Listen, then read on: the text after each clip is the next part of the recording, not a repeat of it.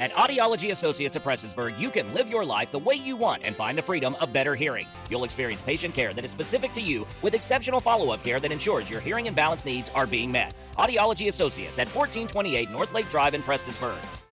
Pumpkin painting, a perfect activity for children, will be available at the Pikeville Farmers Market Tuesday, October 18th. So this Tuesday, the 18th, we are doing a pumpkin painting event for kids and we'll provide tables and chairs and all the goodies for all the kids to sit and paint with. And um, our plans is to have them paint them there. Supplies are provided by the Pikeville Extension Office, and it is a first come, first serve event.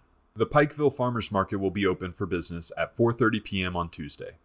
And pumpkin painting isn't the only thing available. One of our vendors, the president of the farmers market, he's a chef and he cooks every Tuesday night, so there'll be prepared meals there. The Pikeville Farmers Market is also expecting to have a wide assortment of fall delicacies, like apple butter, maple syrup, honey, and various fall greens. For more information, visit the Pikeville Farmers Market's Facebook page. For Mountaintop News, I'm Jameson Killen.